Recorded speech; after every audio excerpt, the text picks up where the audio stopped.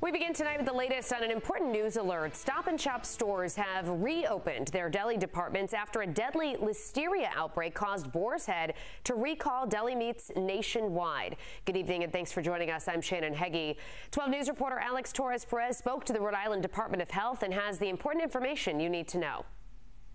Several grocery stores like Stop and Shop were quick to take action to get rid of any contaminated meats. And now the Rhode Island Department of Health is urging everyone at home to check their fridge. About once a week, Darren Kayard visits the deli. We eat a lot of sandwiches in our house. So he was surprised to hear about the nationwide Boar's Head recall caused by a listeria outbreak that's killed two people and gotten 34 people sick in 13 states, including Massachusetts. That's very scary.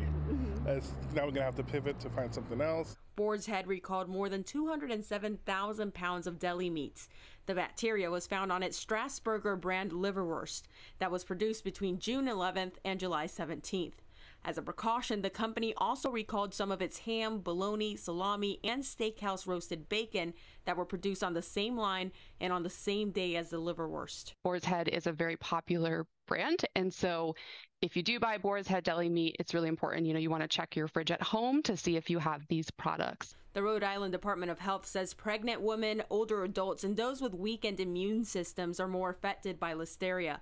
Symptoms include fever, muscle aches, and tiredness. It's a serious concern. Stop and Shop shut down all of its deli departments Friday to deep clean the equipment and get rid of all the contaminated meats. The state health department now wants you to do the same. You really want to make sure that you're cleaning your refrigerator with hot soapy water in a clean towel. And if you're not sure if your deli meat is being recalled, when in doubt, throw it out. But Darren says he'll stay clear of the deli meats for now. Peanut butter and jelly until then.